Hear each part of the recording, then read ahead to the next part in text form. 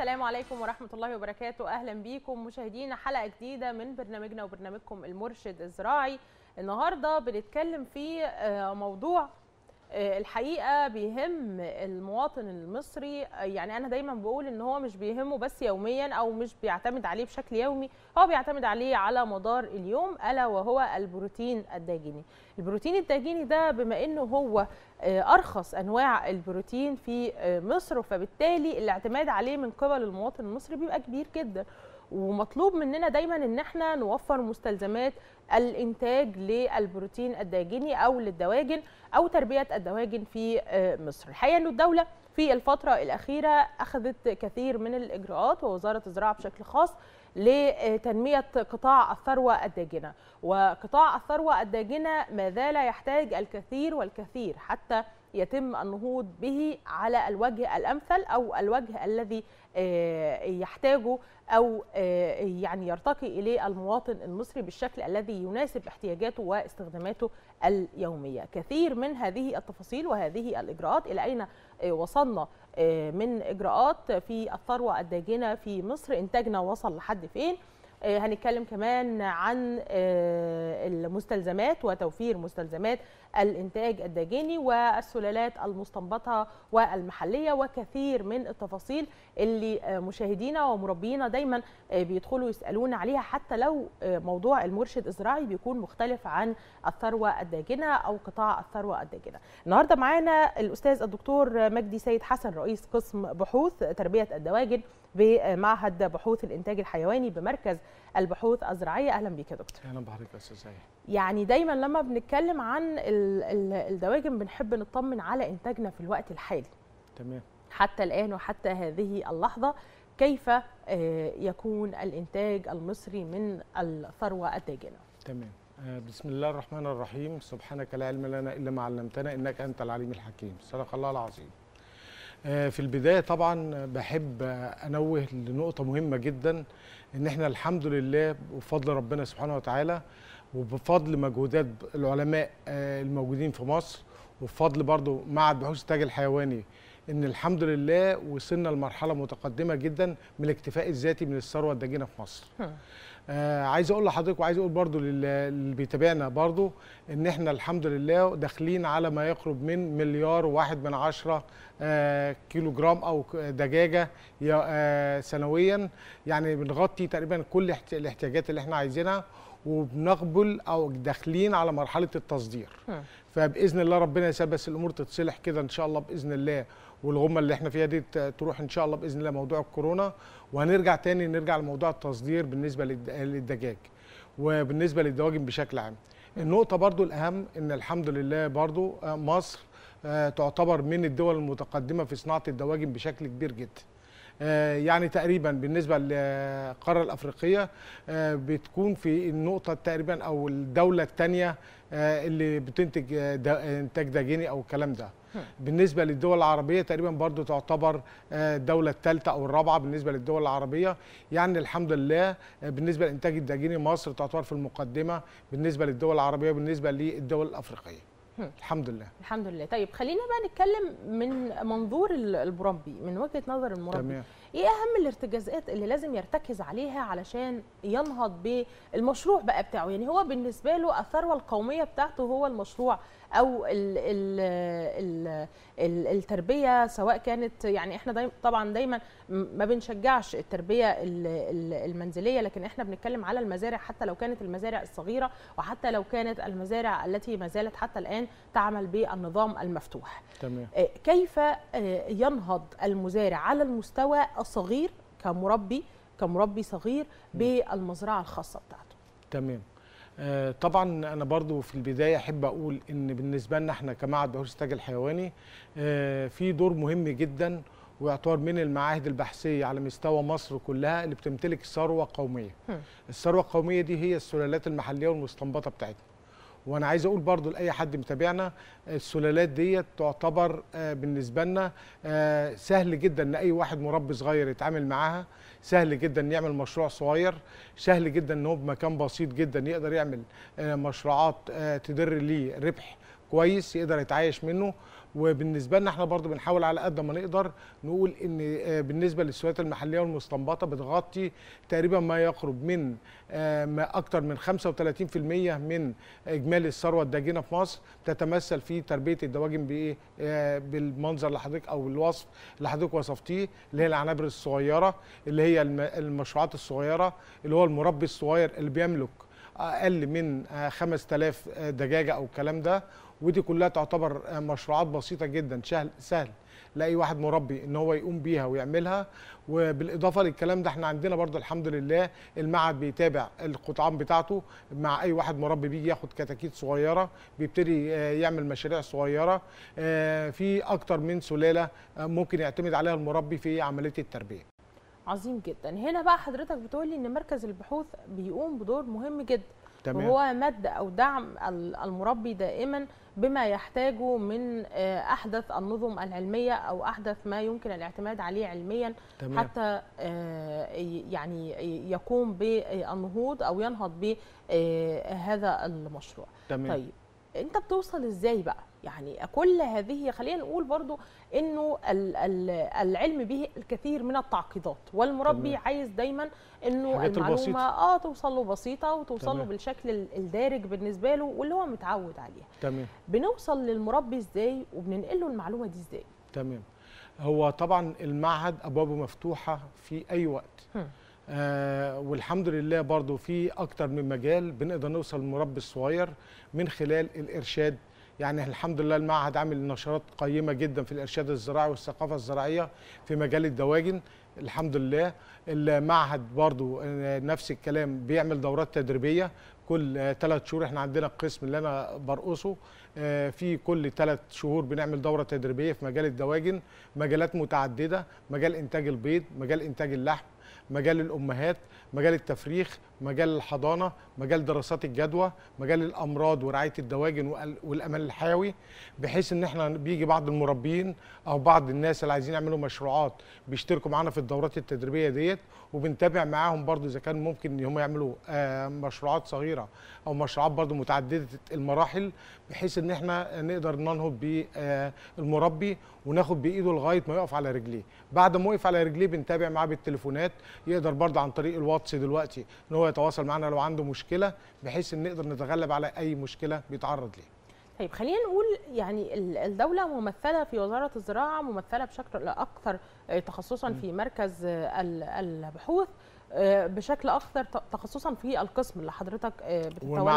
رئاسته ومعهد طبعا بحوث الإنتاج الحيوي. تمام. كيف تنظر هذه الهيئات والمؤسسات إلى المربي الصغير؟ باعتباره واحدة من الركائز الهامة للاقتصاد القومي وخصوصا في تنمية قطاع الثروة الداجنة تمام هو أنا زي ما أنا قلت برضو تقريبا حوالي تلت الثروة الداجنه بيملكها المربي الصغير ده. وبيملكها في صورة إيه؟ في صورة مزارع صغيرة بصوره أعداد بتتربى عشوائي بس بأسلوب منظم بأسلوب رعائي جيد. آه الحاجة المهمة جدا إن السلالات اللي أنا هتكلم عنها بعد شوية اللي هي السلالات المحلية والسلالات المستنبطة اللي موجودة في محطات معهد بحوث الانتاج الحيواني هم. تعتبر ثروة قومية بالنسبة لأي واحد مربي هم. سواء مربي كبير أو مربي صغير. وخاصة المربين الصغيرين. ليه المربي الصغير دوت بيمتلك آه، عدد صغير من القطعان. آه، فبالتالي بيلجأ لتربية القطعان اللي هي ال- من السلالات المحلية والمستنبطة لما لها من مميزات عديدة. المميزات دي بتخلي المربي بعد ما بيربي مثلا سي ربى عدد معين يبتدي يتضاعف العدد ده في الدورة اللي بعدها يبتدي يتضاعف العدد في الدورة اللي بعدها لأن المنتج نفسه آه ذو قيمة غذائية كويسة وذو قيمة آه تسويقية جيدة وذو آه ربح آه ممكن يحققه أي واحد مربي. والأهم من كل ده إن هو سهل جدا إن هو يحصل على هذه السلالات. جميل. طيب خلينا ناخد صالح من الدقهلية. يا أستاذ صالح. نعم. أهلا بيك. اتفضل. أيوه. اتفضل حضرتك على الهوا. سؤالك إيه؟ اتفضل. أنا عايز أسأل حضرتك الدكتور بس على الفراخ البلدي اللي هي منتجة للبيض. مالها؟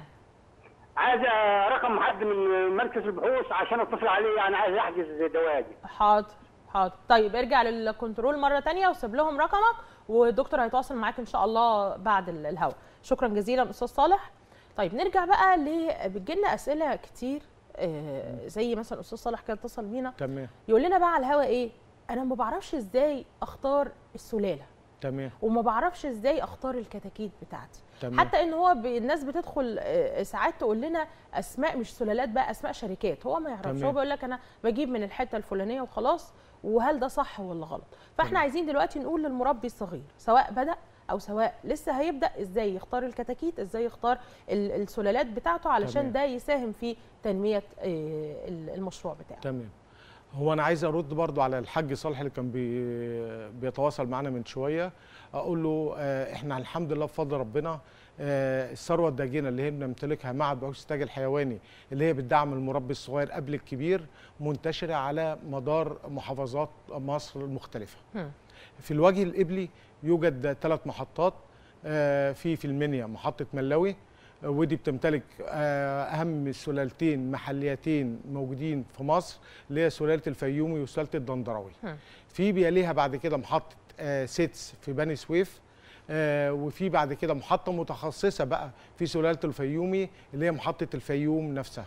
يعني دول الموجودين في في قبلي فبالتالي أي واحد مربي صغير عايز آه، ياخد السلالات دي أو يحصل عليها ويبتدي يربيها آه، ما أهل هقول؟ لحضرتك آه، ما أنا لسه بنبتدي بنتكلم على قبلي على قبل طيب آه إنما بالنسبة بقى لبحري آه في حوالي ست محطات هم. الست محطات دولت آه لو جبناهم من أقرب حاجة بالنسبة لنا محطة إنشاص في الشرقية هم. بعدين بيليها محطة الجميزة في الغربية بعد كده في محطة سخا في كفر الشيخ آه بعد كده في محطة السيرو في دمياط اللي تعتبر قريبة من أقرب حاجة بالنسبة لمحطه لمحافظة الدقهليه ما بينها وما بين محافظة الدقهليه حوالي بتاع ساعة أو ساعة ونص. يعني مش بعيدة قوي.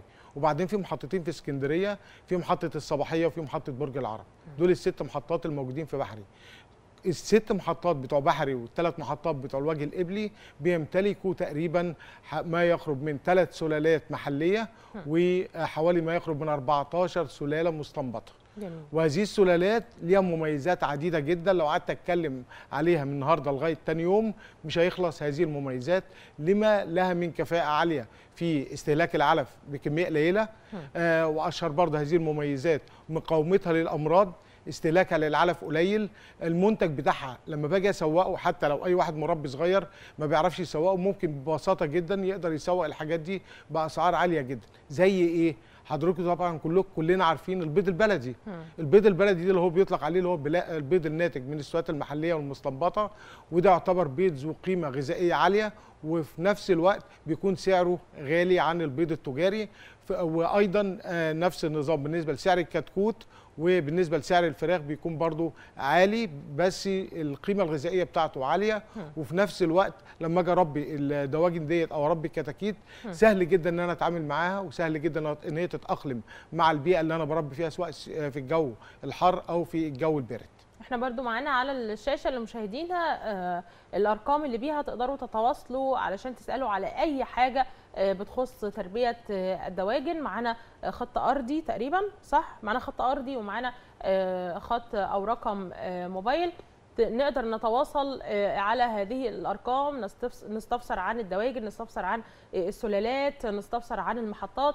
كل آه، ما آه، يريد المربي إنه آه، يستفسر عنه بشكل مستفيض لأن أنا ببقى عارفة دايما إنه المربي بيبقى عنده استفسارات كتير وعلى ال- الهوا آه بيقول اهمها لكن بيبقى عنده كمان استفسارات آه، تانية. كمان ال- ال- الدكتور أو المختص بيبقى عايز يعرف آه، تفاصيل أكتر فنقدر من خلال هذه الارقام نتواصل عليها إن شاء الله ونتواصل بشكل جيد. طيب محمد من الشرقية. السلام عليكم. عليكم السلام ورحمة الله وبركاته. ممكن سؤال بس حضرتك استفسر. ممكن سؤال واثنين وعشرة اتفضل. دلوقتي حضرتك بالنسبة للقناه الدينية في قناه مخصصه للقناه الدينية لا ولا لا لا معلش علي صوتك تاني؟ دلوقتي دي قناه مصر بتتكلم عن الزراعة وتربية الدواجن والمواشي تمام؟ آه.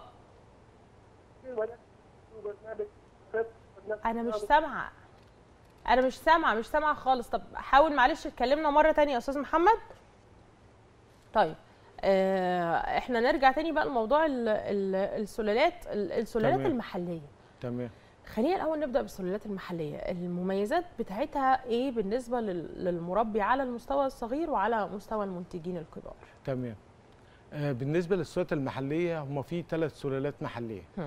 ودول يعتبروا برضو ثروة قومية يمكن للفلاح أو المربي اللي بيربي في الريف المصري بالذات عارفهم هم. أشهرهم لأي واحد مربي أو واحد بيشتغل في الدواجن سلالة الفيومي.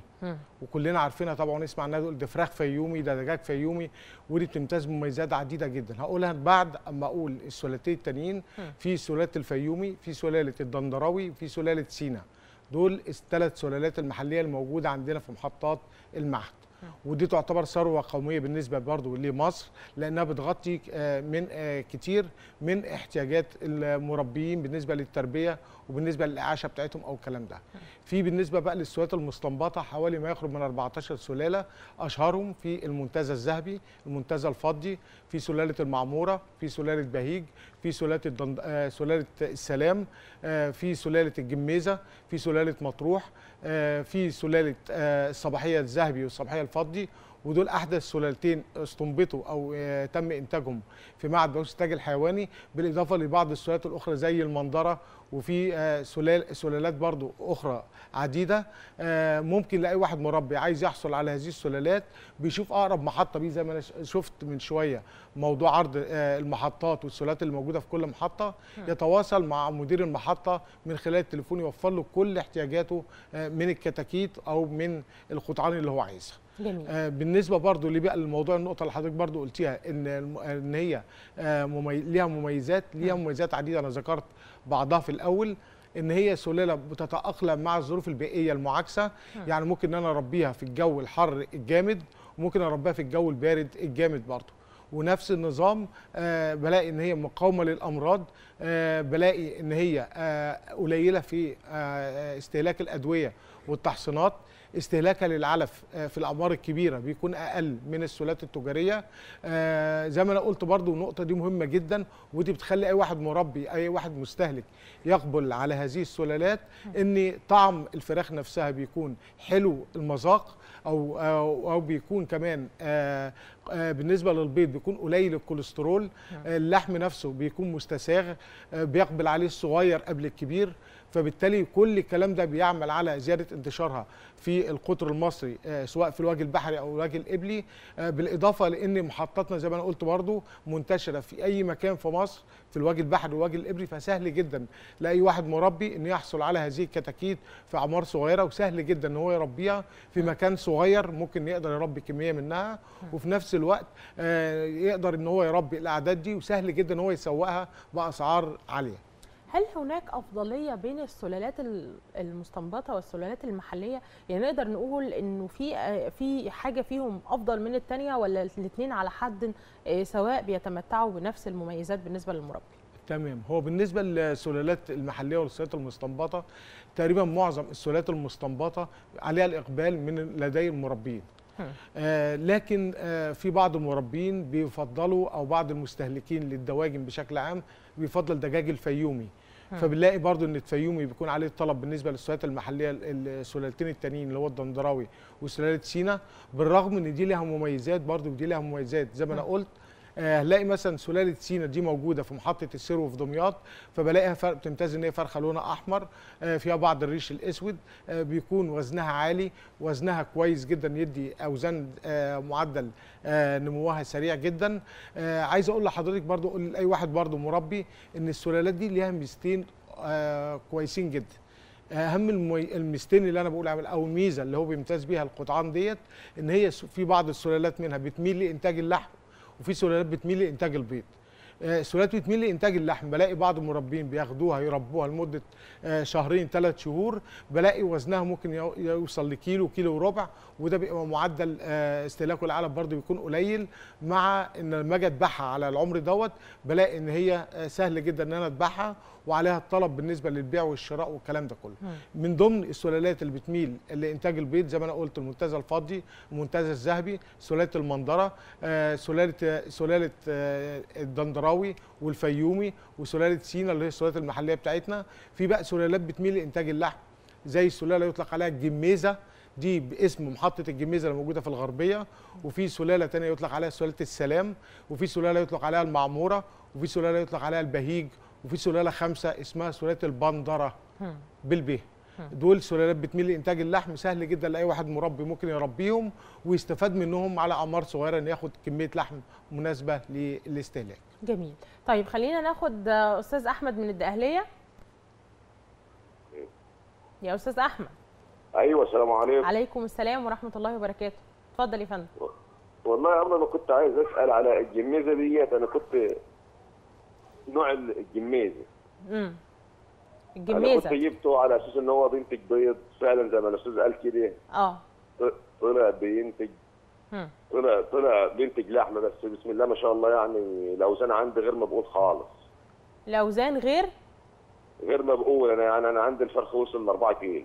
ما شاء الله. لا كويسة مش آه. غير مرغوبة. آه. أنا سامعها غير مرغوبة بس هي افضل آه. كويسة يعني. طيب يعني يعني آه، ليه يعني- ليه غير مرغوبة؟ أنت أنت بتقول آه، غير مرغوبة؟ لا مش مش غير مرغوبة. أنا قلت أنا كنت جايبها مثلا ال- ال- كنت جايبها المستهدف منها إن هي تبيض. آه. فأنا بصيت لقيتها في إنتاج اللحم يعني ما نفعتش للبيض طبعا. آه. يعني طيب أهو أهو كنت أهو خير. عن أم يعني عن سوداء عن هي دي ميزة يا أحمد في برضه. دي ميزة ليه- دي آه. ميزة. ليه غير آه، مرغوبه هي أنا مستغربة إن أنت بتقول أنا غير ما كنتش مرغوبة. أعرف. آه. أنا ما أنا ما كنتش أعرف بس أنت عايز أنت. عايز كتاكيت بياضة. آه أنا عايز صح كده؟ يعني السلالة تكون حلوة في إنتاج البيض آه طيب حاضر بشكرك أستاذ أحمد من الدقهلية هو كان جايبها على إنها بياضة فطلعت تمام. ما شاء الله تسمين يعني بت- بترمي معاه هو كتير في أوي. سلالة كويسة جدا مشابهة جدا للسلاله الفيومي ودي سلاله مستنبطة بيطلق عليها دق أربعة هم. ودي نسبة للمكان لأن كان في محطه زمان اسمها محطة الدقي موجوده هنا في المكان اللي إحنا فيه دوت. قريبة من هنا فابتدوا آه، يعملوا خلط وتحسين برضه عشان ينتجوا سلالة دق أربعة ديت. فانتخبوها بعض الأساتذة آه، اللي موجودين مع اللي كانوا موجودين معانا في المعهد الأجيال اللي إحنا اتعلمنا منها أو الكلام ده آه، فأنا بقول لي برضو الأستاذ أحمد زي ما أنا قلت لحضرتك أو نوهت برضو لأي واحد مربي لما أجي أختار السلالة أشوف الهدف من المشروع اللي أنا بعمله أو هدف من التربية بتاعتي. هل هو إنتاج بيض ولا إنتاج لحم. لو كان الهدف إنتاج بيض من سلالات محلية أو مستنبطة فبلجأ للسلالات اللي إحنا قلناها برضو اللي زي الفيومي.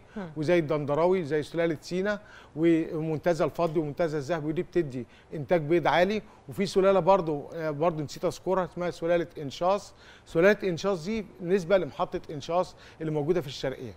آه، برضو بالإضافة للكلام ده أنت لو عايز تربي بقى لحم وعلى على عمر مثلا مبكر تقدر تاخد وزن جسم آه، بالنسبة للقطعان عالي. في آه، بالنسبة للموضوع دوت السلالات الخمسة اللي أنا قلتهم اللي هم بيميلوا لإنتاج اللحم اللي أنت حضرتك بتقول عليهم اللي هي ليها عيب إن هي بتدي وزن سريع بس بيكون السلالة اللي بتميل لإنتاج اللحم معدل انتاجها في البيض أقل من السلالات اللي إحنا ذكرناها المتخصصه في إنتاج البيض أو بتميل لإنتاج البيض يعني هو اختياره آه. أصلا من الأول للجميزة هو المفروض خطأ ده هو آه، راجع للاختيار اختيار هو. لو هيربي بيض آه. يلجأ للسلالات اللي بتميل لإنتاج البيض اللي هم الخمس سلالات اللي إحنا لا اتكلمنا الخم... عنهم البيض الخ- اللي هم بقية ال 14 سلالة اللي إحنا قلناهم آه الخمسة دول. اللي هم الخمسه دول اللي. بيدوا لحم آه يبقى أنا عايز أربي بيض آخد السلالة اللي بتدي إنتاج بيض مثلا زي الفيومي آه زي الدندراوي زي سلالة سينا زي دقي أربعة زي سلالة سينا آه زي سلالة إنشاص. كلها سلالة متخصصة أو زي المنتزه الفضي أو المنتزه الذهبي.